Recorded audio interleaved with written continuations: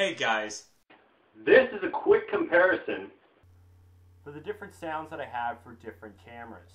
I find with this, my HTC Desire, I get great video quality, but the audio quality seems to be watered down a lot when it comes to a big blast sound.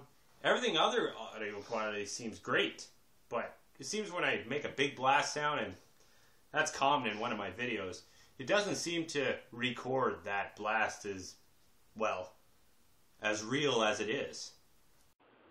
Now for my Samsung Corby, my older phone, which a lot of the original Potato Gun Professional videos were recorded with, it seems to have great audio quality, but the video is total dog shit. And for my Acer laptop,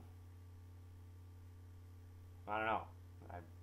Barely use my Acer laptop. So to test this, we're using Racing Stripe harmonica ammo, and we're using the 316 Death Machine, one of the still one of the loudest guns that we have for potato gun professionals.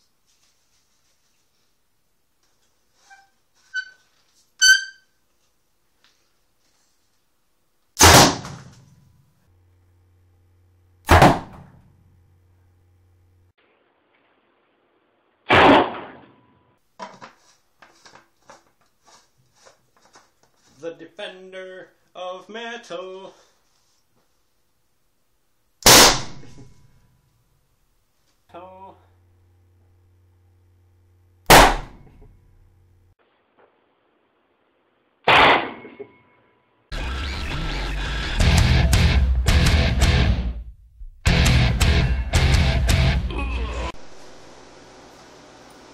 I built the most powerful gun the potato gun professionals have ever even foreseen today.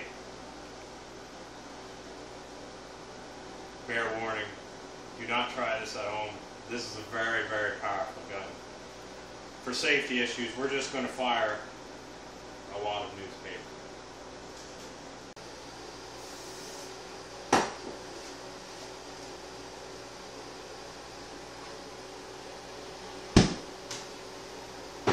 My God, what an impact.